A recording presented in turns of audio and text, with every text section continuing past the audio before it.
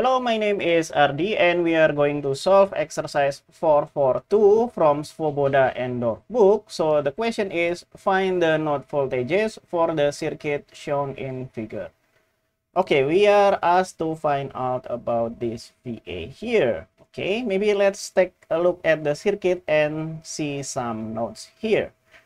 Here we have 6 volt from the ground. This will be the voltage on the reference, which is 0. 6 volt from the reference. This node will be 6 volt from the ground.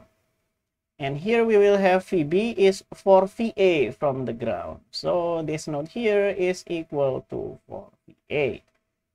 Okay, maybe let's assume the direction of the current in node A here maybe this is going to the right and this is going to the right.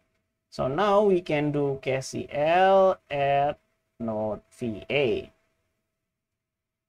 KCL said that the sum of the currents that goes in will equal to the sum of the currents that goes out.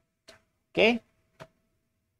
What is the current that go in this is the only the current that goes in but that will be 6 minus VA divided by the resistance between them which is 20 20 ohm. Okay and the only current that goes out is this one.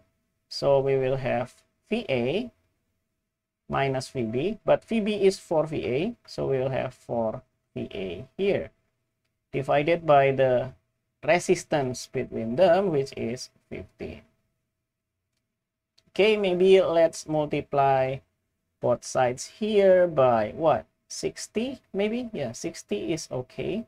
Because 20 and 60 will cancel into 3 and 15 and 60 will cancel into 4 so on the left hand side we will have 18 minus 3 VA and then on the right hand side we will have 4 VA minus 16 minus 16 yeah minus 16 VA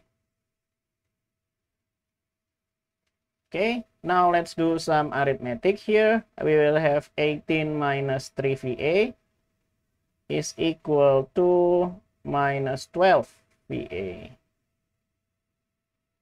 and 18 here will equal to minus 9 VA Therefore, VA is 18 divided by minus 9. That should be minus 2 volt.